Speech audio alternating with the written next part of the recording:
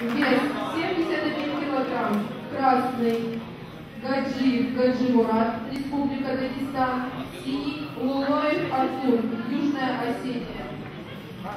Бой!